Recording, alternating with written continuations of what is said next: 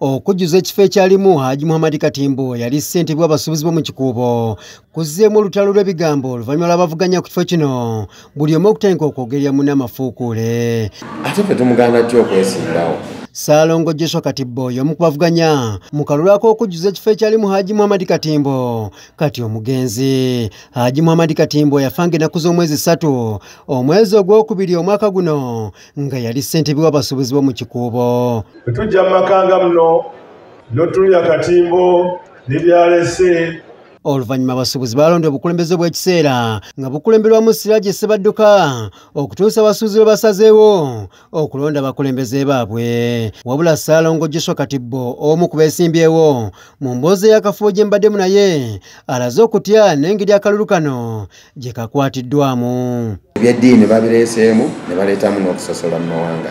Ekyo kintu kibi nnyo ate nga kiveera mu bakulembeze abo. Kyembadde sibasuubiramu kubanga abantu abalina exposure ate ebyo tubiteeka bbali.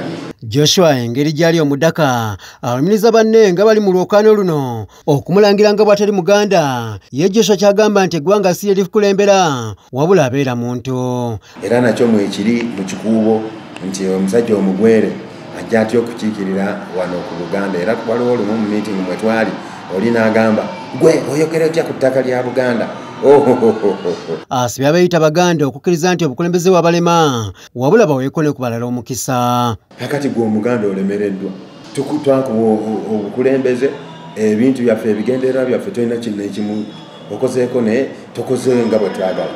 Kati ate lwaki tokkiriza ono bwoyita omunamawanga omugwere ajje naye akwate ate emyaka etaano. Yeekokkodde obukulembeze obwalimu haji muhammadi katimbo. Bw'agamba nti wankubadde bwagezaako okukolera abasuubuzi naye bingi byabalema kale ng'ebimu ku ebyo byazze okutereeza. Mu lukiiko lw'akasembayo olwabaddemu abeesimbyewo wamu n'ab'ekitongole kya kcca okulonda kuno baakwadde ensalesale wa nnaku bbiri era nga ziweddeko olwaleero nga joshua bw'annyonnyola nnaku bbiri ziweddeko leero enkubire mukama waffe eyabadde kyamaani w'olukiiko lwo rcc atubuulire tulonda ddi? Waffe twagala kulonda.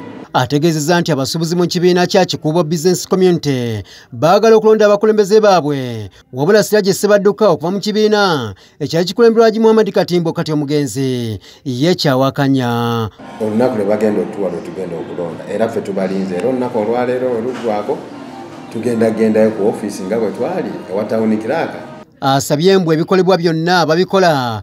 Bagubere amateeka wabula n'abalabula okukomya okugenda nga boonoona erinnya lye. Mu basuubuzi ebbanga erisoba mu myaka 14 siraagi lyaweerereza mu bukulembeze. Obwalimu omugenzi agi muhammadi katimbo. Joshua agamba nti abasuubuzi lyabafiirira bwereere. Yitibwa obwerufu kintu kikulu nnyo.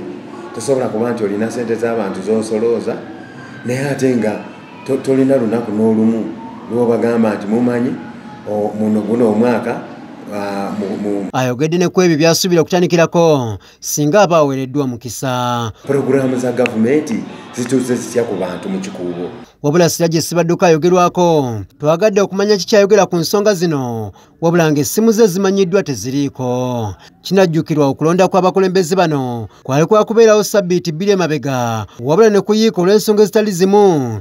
Kyokka kcca neesalawo ekuyingiremu wabula kigambibwa nti siragi ayogerwako yawuliddwako ku muzindalo gw'omu kikuubo ng'ategeeza abasuubizi ng'okulonda bwe kutaliiyo ye joshua kyawakanya. Kiyingi moses Delta TV amasukulu